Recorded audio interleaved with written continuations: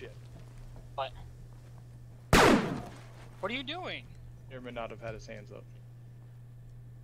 Why the fuck did you put him out of the rest of the way?